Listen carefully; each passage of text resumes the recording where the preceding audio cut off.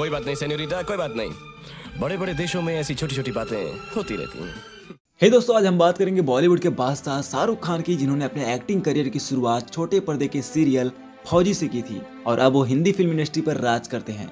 उनका iconic pose हाथ खोलने वाला और कक किरण वाला डायलॉग तो आप सबको याद ही होगा। I love you Kiran. लेकिन क्या आप जानते हैं कि डर फ़िल्म के इस डायलॉग के पीछे की असली कहानी क्या है? इकतीस साल बाद जूही चावला ने इसके पीछे की सच्चाई रिवील की है। एस की वो फ़िल्म जिसने उन्हें रातों रात स्टार बना दिया था, उन्नीस सौ तिरानवे में रिलीज़ हुई थी। डर फ़िल्म का dialogue I love you Kiran इतना फ़ेमस हो गया था की बॉलीवुड का एक आइकॉनिक डायलॉग बन गया। अब Gujarat chamber of commerce and industry के एक इवेंट में बात करते हुए जूही चावला ने इसके पीछे की स्टोरी शेयर की है। जूही ने बताया, मैंने नोटिस नहीं किया था, लेकिन शाहरुख हर चीज़ को एब्जॉर्ब करते थे। यश जी थोड़ा हकलाते थे और शाहरुख ने ये वहीं से पिक किया था।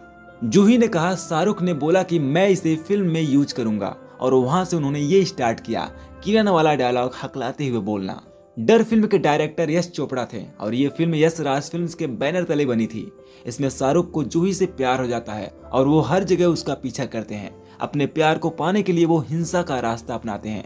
जूही की शादी सनी देओल से होने वाली थी, लेकिन शाहरुख का कैरेक्टर आखिरी तक ये रिश्ता तोड़ने की कोशिश करता है। इस फ़िल्म में शाहरुख ने पहली बार एंटी हीरो का रोल प्ले किया था। तो दोस्तों, ये थी डर के आइकॉनिक डायलॉग की कहानी। अगर आपको ये वीडियो पसंद आई हो तो लाइक करें कमेंट करें और शेयर करें। और हाँ हमारे चैनल को सब्सक्राइब करना ना भूलें।